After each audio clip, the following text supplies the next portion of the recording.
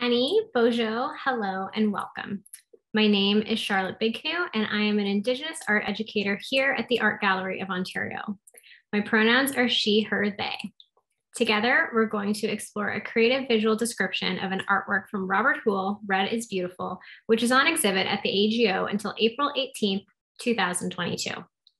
We'll begin today with the land acknowledgement. Although we're meeting in the virtual world, I would like to acknowledge that the AGO is located on lands that are the traditional homes of the Michi, Saagiig, Anishinaabe, the Mississaugas of the Credit, the Huron-Wendat, and the Haudenosaunee. Toronto continues to be home to many Indigenous people who live alongside settlers, newcomers, and people whose ancestors were enslaved across the Americas and the Caribbean. As someone with both First Nations and settler ancestry, I am grateful to live and work on this land. Recognizing this in a meaningful way means making commitments to sharing and upholding responsibilities to all who now live on these lands and the land itself. In our time together today, let's be mindful of these commitments. I'm going to describe myself. I'm standing in my apartment in front of a red brick wall. My hair is dark brown with some gray streak throughout, falling just past my shoulders. I have brown eyes and I'm wearing a black turtleneck shirt and large beaded earrings. The earrings are made up of small turquoise, yellow, gold, and red seed beads and are oval in shape. At the center of the earrings have a large piece of caribou antler. So what is a creative visual description? Audio description is spoken or written language, either recorded live, describing visual images or objects, enabling blind and partially sighted audiences to engage and pursue their own journey in theater and film performance and visual art. While television and theater use pure audio audio description for visual arts, we're lucky that we can take a more creative approach. This involves interpretation combined with description and close looking. This helps account for the subjective nature of visual arts. This form of audio description is often called creative visual description. AGO art educators typically include creative visual descriptions in AGO multisensory tours.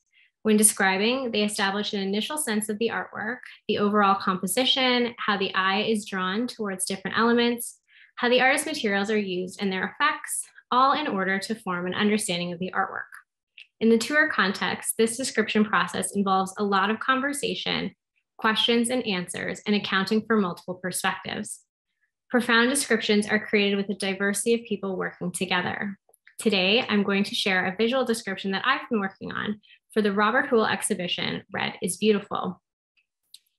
Red is Beautiful consists of over 90 large installations, paintings, and drawings created between 1970 and 2021 that challenge our understanding of Western and Indigenous art making. Houle has been influenced in his life strongly by Indigenous spirituality, growing up immersed in Saulteaux spiritual practices, as well as Catholicism through his time in residential schools. Houle's work often holds the duality of these lives, combining traditional Indigenous items such as medicine bags and understandings of sacred geometry with Western techniques of sculpture and painting. Houle's impressive body of work challenges our understanding of Western and First Nation art history and offers ways to develop understanding between the cultures. This exhibition is a walk through 50 years of what matters to First Nations and settler relations today through the eyes of this groundbreaking artist. You can follow a creative visual description audio tour of the Robert Houle exhibition on the BlindSquare Events app. So here is the visual description. We'll start with the label information. Robert Houle, born 1947, St. Boniface, Manitoba. The Pines, 2002 to 2004. Oil on canvas. The center panel measures 91.4 centimeters by 121.9 centimeters, and the two outer panels measure 91.4 centimeters by 91.4 centimeters each. Three green and blue paintings hang in a horizontal row. Two monochrome square canvases frame a pine forest on a rectangular canvas in the center. On the left, a square canvas is painted with horizontal brushstrokes in a monochromatic deep green. In the central rectangular canvas, a line of bluish green tree trunks leads diagonally from the right corner in the foreground into the left background. Past a clearing in the left foreground of the canvas, the tree trunks cast shadows on the ground leading deeper into the forest, where a bright yellow sky peeks through the green foliage. To the right of this canvas, a square canvas is painted with horizontal brushstrokes in a monochromatic deep blue. This triptych commemorates the 78 days in the summer of 1990 when Kanien'kehá:ka, Mohawk land defenders set up a blockade to prevent the town of Oka from building a golf course on the pine forest, a sac sacred burial ground. In the center panel of the painting, which depicts the tree trunks of the pine forest, there is a bright yellow sky in the distance. However, the shadows cast on the ground by the trees are pointing towards the yellow sky, as if there is a secondary light source behind where we are standing. Houle has depicted the pines in this way to create a feeling of this area being otherworldly, highlighting the spiritual nature of these lands. The pines seem almost magic, with a serene silence, full of the presence of the ancestors buried here. The two panels of solid color on either side bring you into this world of deep blues and greens. And within this immersion into space and place, we are challenged to understand that this calm collection of trees was also once a location of violence.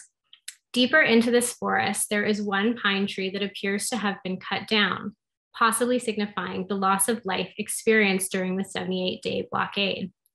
SQ Corporal Marcel Lemay was fatally shot, and Mohawk Elder Joe Armstrong was struck in the chest with a large rock, suffering a fatal heart attack the next day. These serene trees hold stories of pain, of loss, and also resilience.